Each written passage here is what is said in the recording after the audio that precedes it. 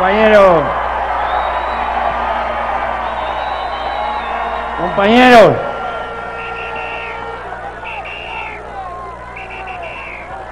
Esta tarde sobran las palabras. Y cuando sobran los sentimientos, las palabras no lo traducen. Permítanme encallarme la boca, porque tengo muchos años. He visto muchas manifestaciones como esta. Y se me llena el alma de recuerdos y de nombres que no están. Yo respeto y por encima de todo hay un hombre que está dando una batalla por la vida y está en el corazón de ustedes. Eso es lo que tiene sentido. Pero si mañana no está unidad, paz y trabajo, queridos compañeros, gracias.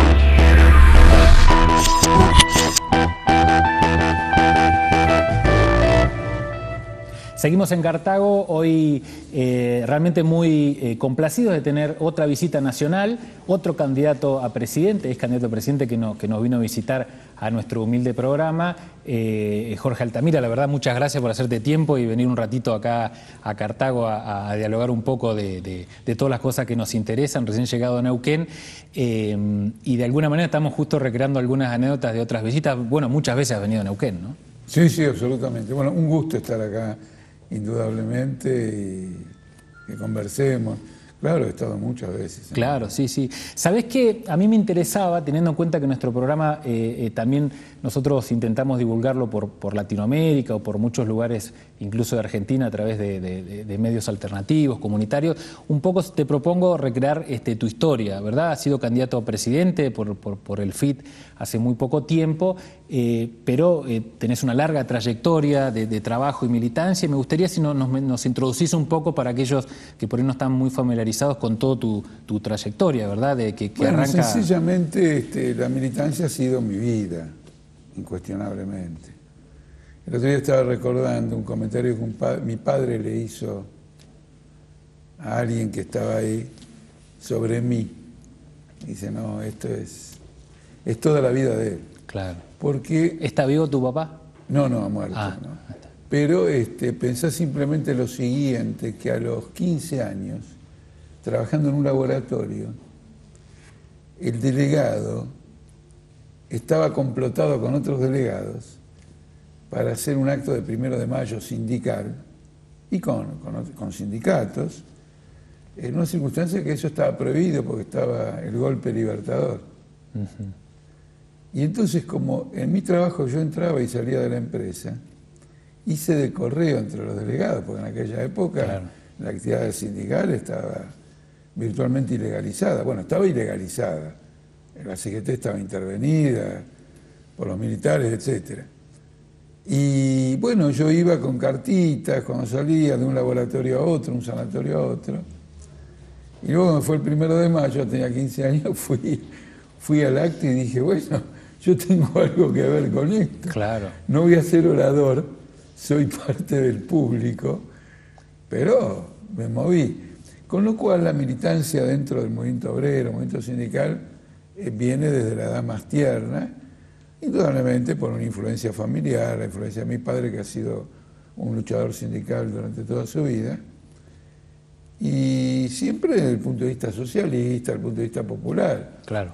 Con esto quiero marcar que no es una improvisación, no es alguien que de golpe se recibe de abogado y alguien le dice, che, mira, la onda hoy es que te abras paso con la política, entre comillas.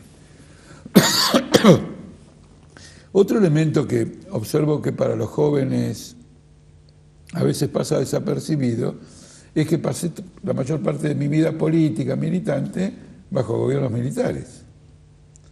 De modo que lo que hoy mucha gente considera como una realidad en principio irreversible, que podemos tener este programa, que vayamos al café, nos peleemos, discutamos, haya movilizaciones.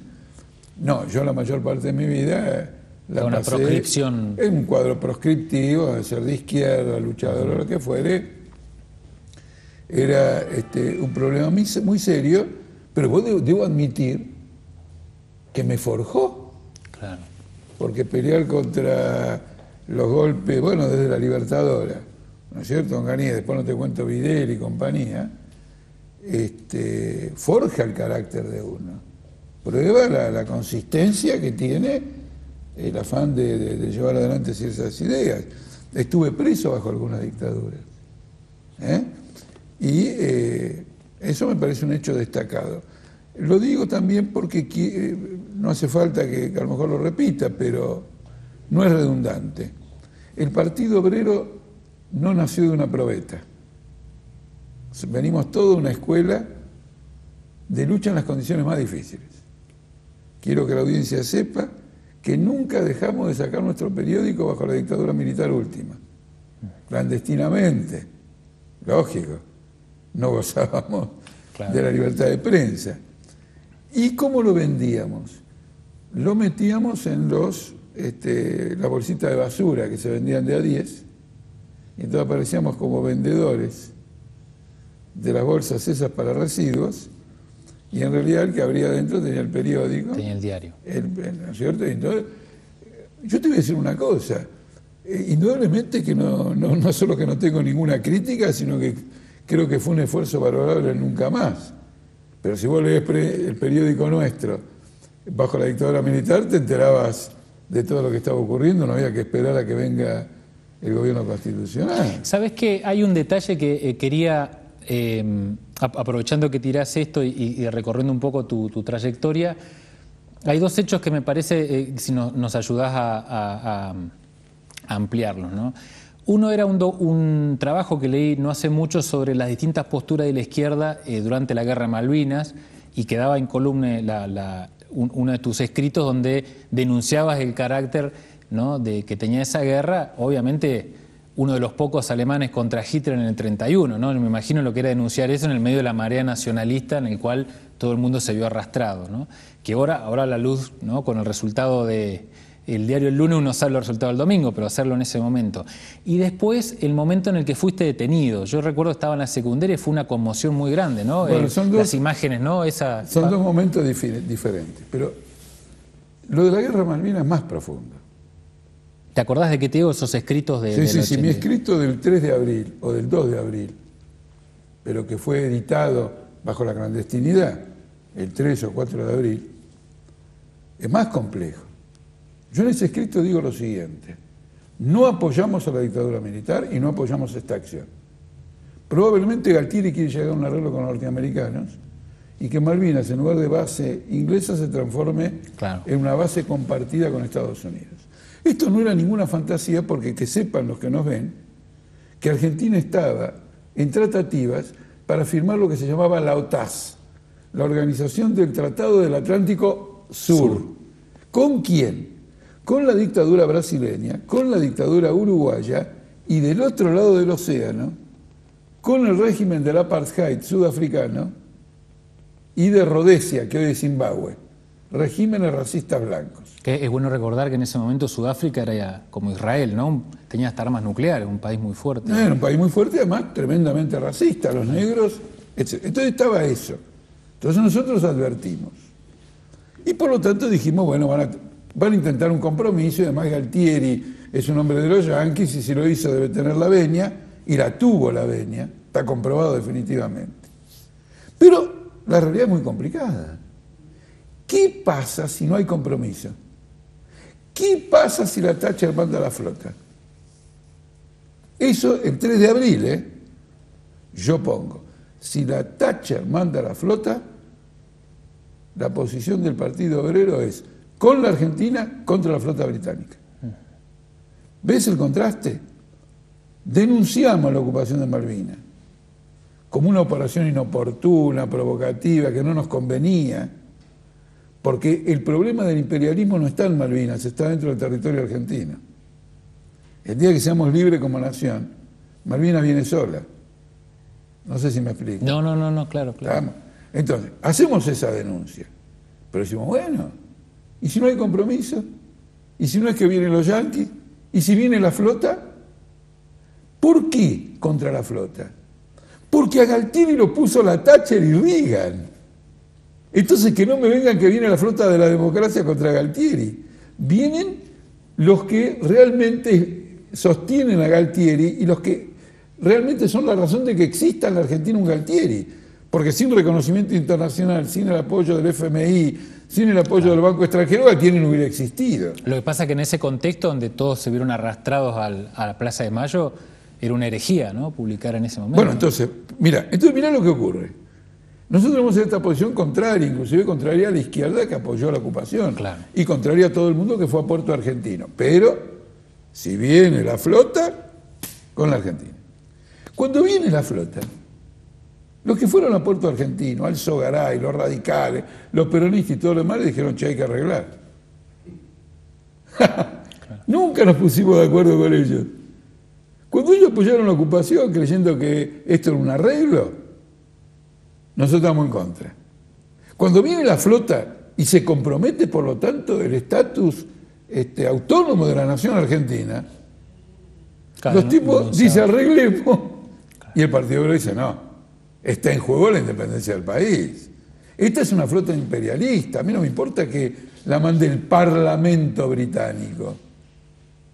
A mí lo que me importa es que Inglaterra es una nación imperialista aliada con Estados Unidos en la OTAN y la consecuencia va a ser una mayor esclavización. Y lo fue. Porque aunque la gente dice, no, pero ¿cómo también la mayor esclavización? Galtieri fue reemplazado por Vignone y Vignone por Alfonsín. ¿Pero por qué? ¿A qué vino Alfonsín? A pagar la deuda externa que la dictadura militar ya no podía pagar y que es una de las razones por las que ocupó Malvinas. Y hoy estamos esclavizados con una deuda externa que en mi cálculo, si se computan los intereses, porque en general los intereses de una deuda no se computan al, decir cuál es la deuda. Yo tengo, por ejemplo, te debo 100 pesos y tengo que pagarte un interés del 5%, no digo que te debo 105, 110 según el plazo de la deuda, digo que te debo 100. Claro. Y, bueno, si yo computo los intereses de esta deuda, estamos en 250 mil millones de dólares. Es una deuda pública, en parte metida en la ANSES, en parte metida en el Banco Central, en parte con la deuda internacional, es este cupón del PBI. Es decir, que nos han esclavizado económicamente. Al derrotarnos militarmente, impusieron sus condiciones. Era parte de los análisis en ese momento. Totalmente. Por eso, cuando la Presidenta de la Nación otro día correctamente dijo algo que nosotros hemos anunciado toda la vida, que la Corte Suprema de 1930 legalizó el golpe militar, en 1930, ella con el afán de mostrar que la justicia no, no es del palo de ella, etc., le recuerdo a la presidenta que ella y todo el elenco político actual, en 1983, legalizaron toda la legislación de la dictadura y todos los compromisos internacionales de la dictadura. ¿Saben los que nos están viendo que cuando van a hacer algún trámite, etcétera, la mitad de la legislación que rige y que les, eh, eh, les impone este, la conducta, no en todos los planos, el 50% Está fue, salió de Galtieri, salió de la última dictadura militar y de Onganía. ¿Sabe que, por ejemplo, los jueces, gran parte de ellos, incluso miembros de la Corte Suprema, juraron por el estatuto de Videla? Y luego, con el argumento de la continuidad jurídica del Estado, ataron a la democracia a los compromisos, leyes, decretos de la dictadura. No se dice hoy cuando se habla de la ley de medios como una justificación para estar a favor de esta ley de medios, no se dice que la ley que rige ahora es de la dictadura y ya pasó cuánto tiempo de la dictadura. ¿Ves que hay una esclavización? Por eso nosotros dijimos no. Vamos a estar con la Argentina, con los soldados argentinos, con el pueblo argentino, contra la flota, pero la operación política de iniciado esta guerra la repudiamos. Eh, nosotros eh, tenemos eh, todavía un bloque más para seguir dialogando con Jorge, así que les propongo, después de este corte, seguimos acá por Cartago.